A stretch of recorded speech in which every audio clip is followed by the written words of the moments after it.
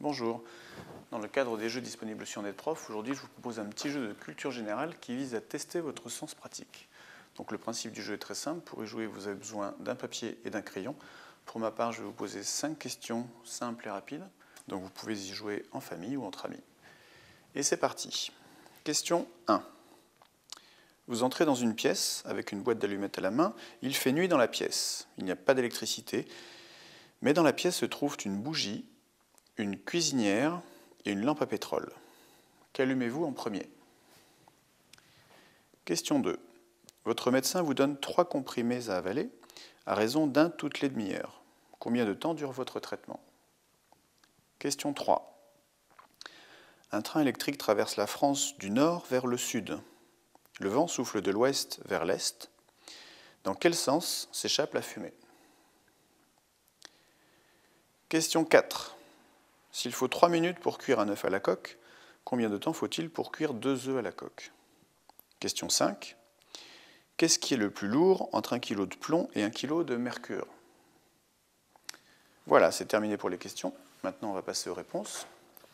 Donc, la première question, vous entrez dans une pièce avec une boîte d'allumettes à la main.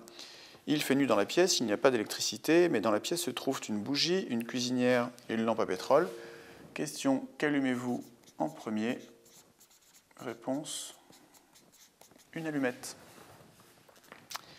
Question 2. Votre médecin vous donne trois comprimés à avaler à raison d'un toutes les demi-heures. Combien de temps dure votre traitement? Le traitement dure une heure. Pourquoi une heure? Parce que vous prenez le premier comprimé maintenant, le deuxième comprimé 30 minutes plus tard et le troisième comprimé, le troisième comprimé 30 minutes encore plus tard, c'est-à-dire une heure plus tard. Donc le traitement dure de maintenant à une heure.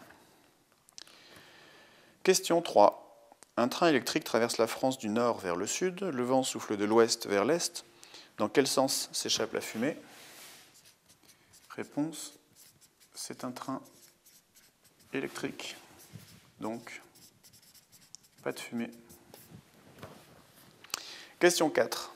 S'il faut 3 minutes pour cuire un œuf à la coque, combien de temps faut-il pour cuire deux œufs à la coque?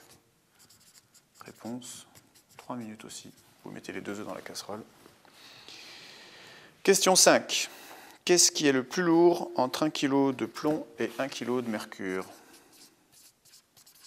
Réponse aucun, parce qu'ils font tous les deux 1 kg.